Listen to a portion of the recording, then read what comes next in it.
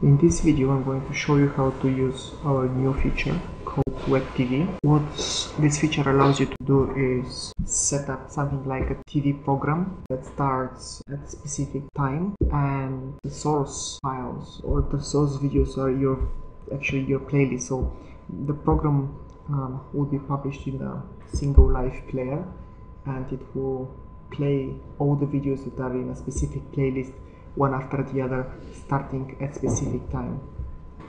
So the first step that we need to do is uh, go to our video playlist and we need to specify what the start date and time of that program should be.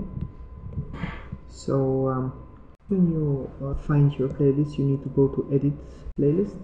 In this section here you need to specify where the playlist should um, be one time meaning that at the end of the playlist let's say you have three videos in the playlist. The playlist is three hours long and you specify that the playlist should start at 10 o'clock in the morning.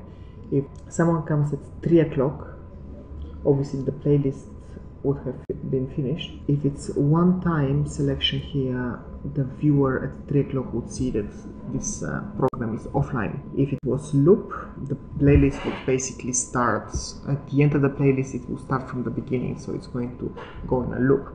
In this case i'm going to use one time and i'm going to specify that the playlist starts at 640 which is okay what i'll do is i will do 636 uh, please bear in mind that right now we're using gmt time so if you're in a different time zone you need to calculate uh, and specify your start date and time based on GMT. Soon we will provide time zone support, but uh, in the meantime, unfortunately, you need to work with the, the, UK GMT time.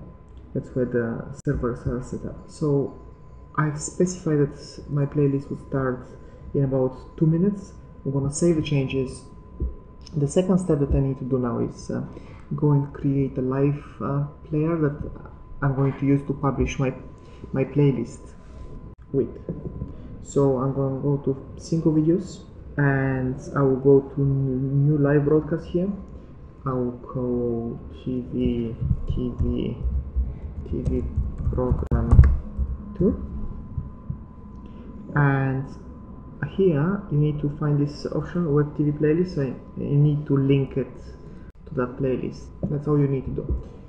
Once when you save the changes the last step that you need to do is go to publish. Obviously choose uh, appropriate way to publish so I'm going to use the embedded player now. Uh, you can use the player link if you want to send it uh, as, a, as a hyperlink to someone.